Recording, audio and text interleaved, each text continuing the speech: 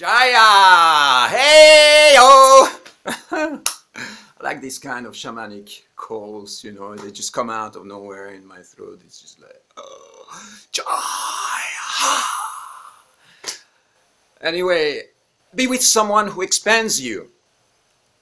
When you can choose for, um, you know, a partner and you just naturally get attracted to somebody and you have other people in your field and you have other possibilities in who you are going to spend your time with, um, here is an idea to consider. It is be with someone who expands you.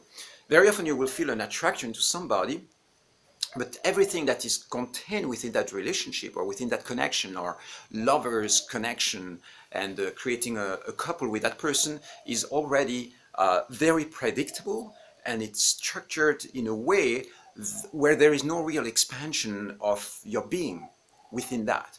It means that you know, sex might, might be interesting. There might be a good sensual connection. There might be something that um, that feels comfortable and nice. But there isn't this feeling of like of open space because what you create together, what that person brings into your life, is something that you already experience. It's a land that you already know, and so you can dive deeper into that. But um, imagine that now you have somebody who comes into your field where everything is new everything is just like new stuff. And especially when it comes to consciousness, to emotions, to ways of relating or being, then suddenly your whole being, your whole emotional body has to develop new skills and new ways of relating that are going to force you into evolution. And so this is the advice for today. Just check it in, check in. When you are being attracted to somebody, is that person expanding you or is that person creating just comfort?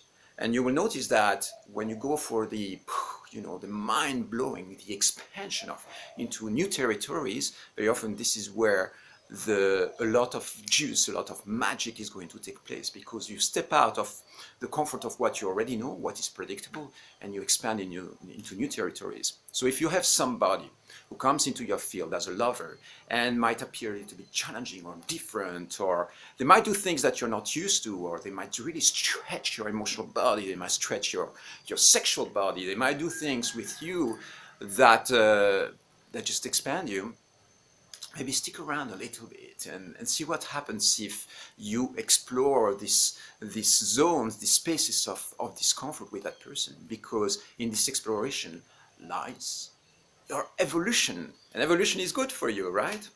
Check it out and see how it feels. And um, yeah, I'm curious about where you are at with your relationships, with your love life. You know, is this something that you observe? Is the person that you are with right now expanding you? Is she is she or he uh, stretching your limits or is it something that is more comfortable, predictable and how does it feel in your system? These are my questions for you. I'll see you soon.